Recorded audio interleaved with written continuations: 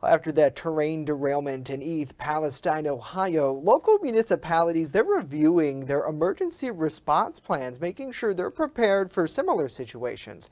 Although our region has never seen an incident as severe as the Ohio derailment, local leaders tell Erie News Now's Ethan Kibbe it's critical to be prepared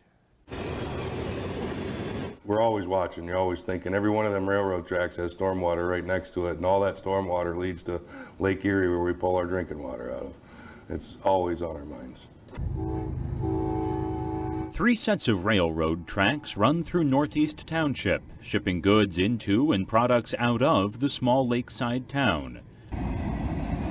They're crucial to the local economy, but they're not without risk, as the nation saw this month in East Palestine, Ohio it really scares you. Uh, you know, it's it's we're all volunteer here, um, and when you look at that, you know, not only are we putting our lives in danger, but putting our family lives. Uh, you know, we may not come home from something like that. God bless that nobody did, you know, get injured down there. But uh, the report of what was there and the evacuation area they had to do puts a lot of lives in danger, and you just got to step back and think about it. Now, the township, borough, and fire departments are reviewing their emergency plans, a preventative step to keep the community safe. The key to handling any emergency is having a good plan. So the township not only has a state mandated emergency response plan, it's also worked with Northeast Borough to develop a source water protection plan just to be safe.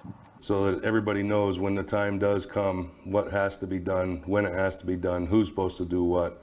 All that stuff is always in place.